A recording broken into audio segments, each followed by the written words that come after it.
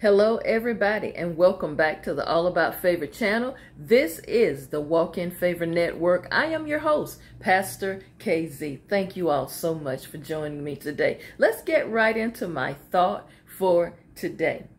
Have you ever had a time in your life where you felt like you made a mistake and you got some regrets for it? Have you? I don't know about you, but I certainly have. But you know what?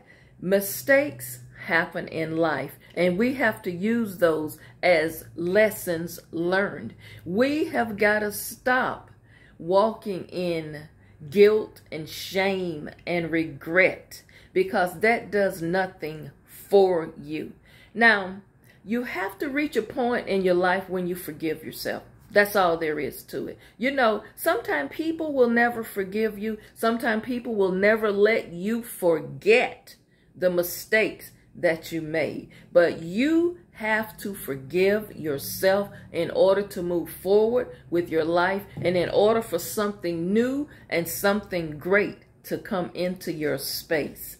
Now, at some point, you have to use your past mistakes and say, you know what? I've learned from that. I'm not going to do this again. I'm not going to take that baggage into this new relationship. So sometime you're not going to be able to go back and correct the past, nor will you be able to change the fact that you made some mistakes.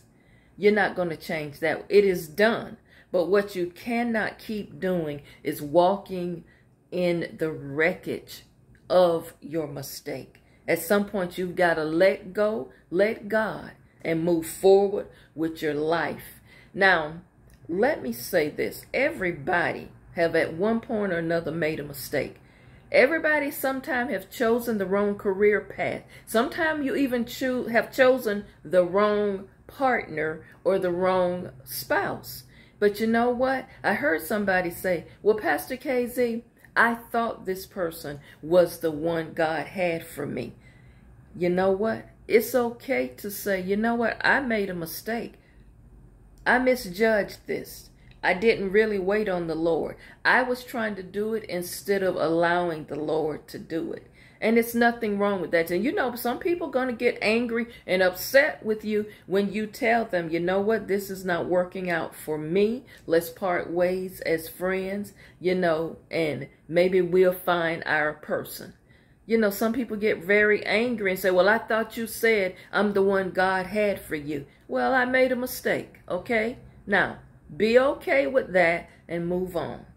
You know what? We've got to learn how to stop carrying around guilt. Stop carrying around, you know, shame. And you got to stop staying stuck in situations, on jobs, in relationships that really no longer serve you.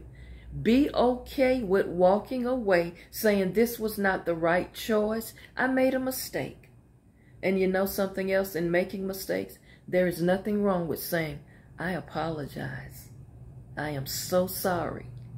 Some people cannot utter those words, or when they say those words, it's always a negative tone behind it. Well, I'm sorry if you say I hurt your feelings. No, I'm saying it.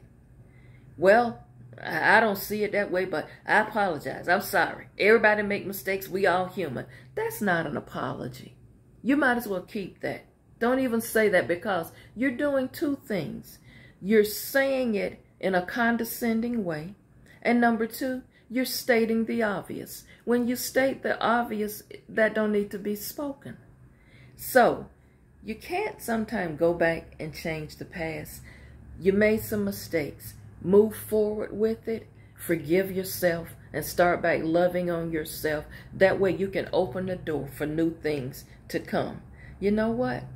God is just to forgive. Sometimes people will never forgive, but God is just to forgive your mistakes.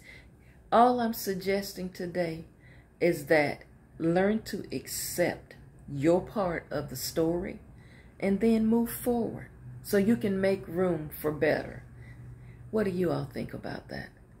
Well, at the end of this video, don't forget, comment, like, and share. If you have not subscribed or followed, go ahead and hit that bell as well. And Get focused. Some of you are not focused. From looking at some of these emails, you all over the place. You're doing too much and you don't have any balance. Find some balance. Get some peace in your mind. Some of you, you, you don't have peace of mind. You just, you, you're depressed. You're frustrated. You go from highs and lows in your emotion. There's, you're out of balance here. So protect your peace at all costs. And remember, you are so worth, you're worth it. God loves you, but you got to love yourself before you're able to love anybody else. Start treating yourself better. Self-care is the best care. You made some mistakes. Let it go. You got some things you have regrets. Let it go. Move forward with your life and have a better quality of life. Thanks for watching. I'll see you back tomorrow.